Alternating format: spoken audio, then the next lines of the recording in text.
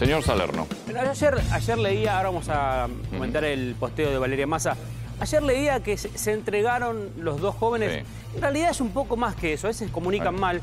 En realidad la, Fiscalía y la Policía hizo bien su trabajo. Ayer allanaron varios domicilios, los rodearon y no les quedó opción. Tuvieron que entregarse. Primero al abogado. Claro, en realidad los detuvieron cuando cuando se entregaron, porque los estaban buscando, fueron allanando.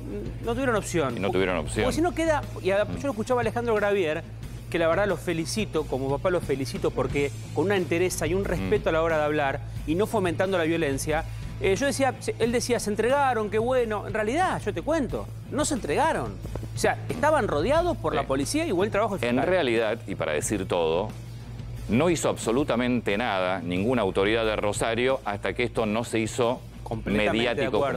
Una vez que se hizo mediático, era tan escandaloso, porque en el video vos veías que estaba un auto de seguridad urbana, había dos policías y ninguno intervino. Fue tan escandaloso la falta de profesionalismo y de compromiso de las autoridades en Rosario, de la policía, de la justicia, que una vez que se hizo mediático, cambio de fiscal, y a ver, estaban las cámaras, se los identificaba perfectamente. Hasta que esto no se hizo mediático, no actuaron. Entonces, eso que actuó bien, No, no, no, te hablo de la Fiscalía. ¿eh? Permitime disentir. Te hablo de la Fiscalía. No hicieron nada hasta que no se hizo mediático. No, desde el municipio mm. fue un desastre lo que hicieron. Desastre.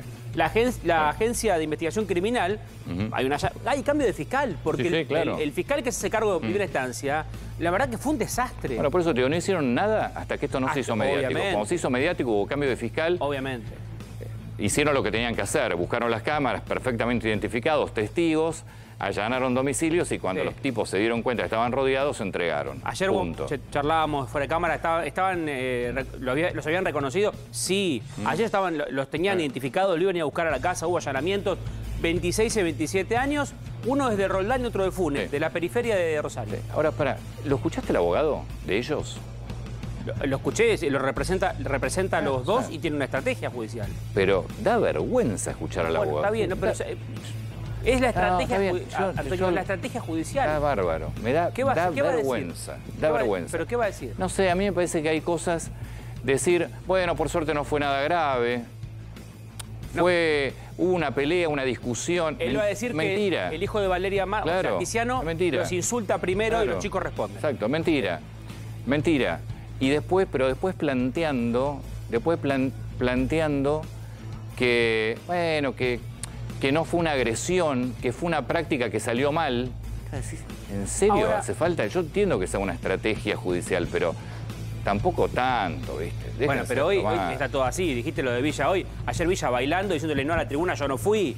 Yo no fui de Villa a la tribuna cuando hay un, pedido de detención. Digo, todos se burlan un poco de la justicia, hay que ser un poco más respetuosos. Pero cada uno tiene su estrategia, Antonio, yo estoy con vos. Pero habló Gravier. La verdad, yo lo felicito como sí, impecable. La operación salió bien. Es una operación donde te deja muy dolorido y está ahí lo que, lo que hicieron fue que le dieron muchos calmantes y está dormido y todavía está dormido. Y bueno, pero está bien, está dolorido, pero está bien. Lo importante es que la operación salió bien. Estos chicos que habían agredido y que seguramente se equivocaron, eh, se entreguen como se entregaron en Rosario. Y bueno, esperemos que, que haya sido un error y no una, forma de accionar. Eh, ojalá que así sea. Sí, nosotros estuvimos permanentemente al lado de nuestro hijo desde las 5 de la mañana, el llamado ese, ese llamado que los padres nunca queremos tener, el de las 5 de la mañana que te llaman y que te dicen eh, ven, a buscar. Estaban con Benicio en un bar. Ellos, eh, después del episodio que ustedes ven en toda la filmación, ellos salen corriendo, no conocen Rosario, no sabían a dónde ir, corrieron por dos avenidas y entraron a un bar y ahí nos llamaron por teléfono, nos fuimos a buscar y ahí cuando nosotros llegamos Ah, ¿Estoy bien? Eh, cuando nosotros llegamos, eh, Tiziano nos dijo que lo llevemos a un sanatorio porque tenía, él creía que tenía la mandíbula rota.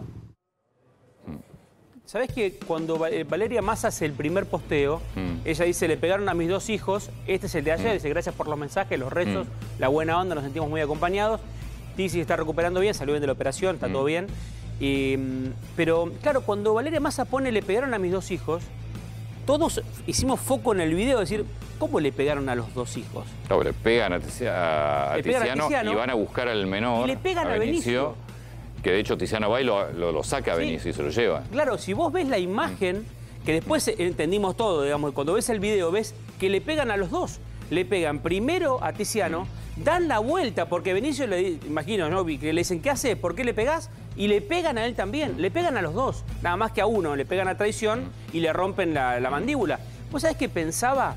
Trataba de, acordarme de algún hecho similar y rápidamente me iba a Adolfo López, el playero, mm, que recibe una piña a traición y en este caso este chico no se cae y golpea la cabeza. Eh, el, encargado del garaje. Pero hubiera pasado.